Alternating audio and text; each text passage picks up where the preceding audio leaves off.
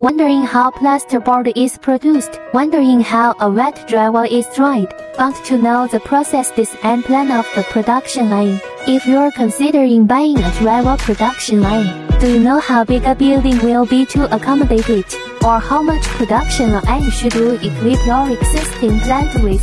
First let's take a look at the main raw material of gypsum board semi-water building gypsum powder. The so-called hemihydrate gypsum is dehydrated by dihydrate gypsum. We lose two-thirds of our water molecules.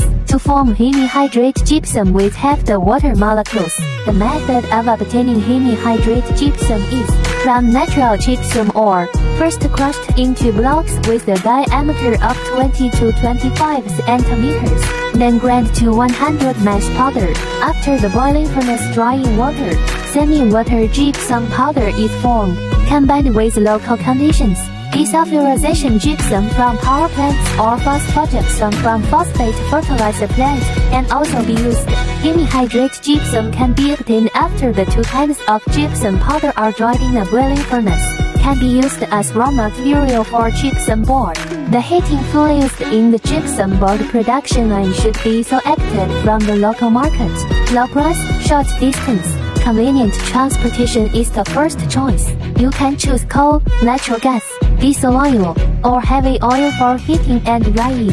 Among them, coal, heavy oil, usually equipped with boiler use, natural gas, diesel equipped with hot blast stove use. Drying is the core process of the gypsum board production line. It is the key to determine the quality of gypsum board. The common process that is heat transfer oil. First heat the heat transfer oil in the pipeline.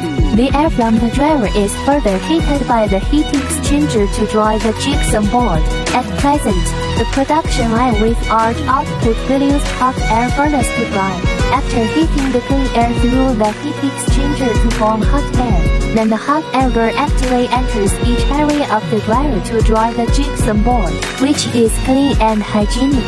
You can also choose burner direct combustion drying. This is the new drying method. The hot air of the burner is directly added to the circulating air.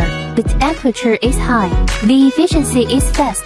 And the product is good, but it costs a little fuel. Next comes the most frequently asked questions regarding the floor area of the production line. How much workshop is needed to accommodate this production line?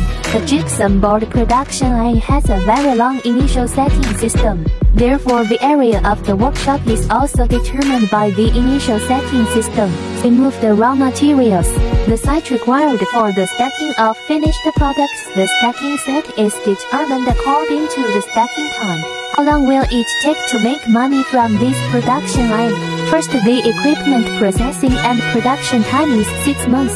Shipping time by sea is TW months. On-site installation time is 3 months. Equipment debugging staff training time for one month. This is an normal time frame.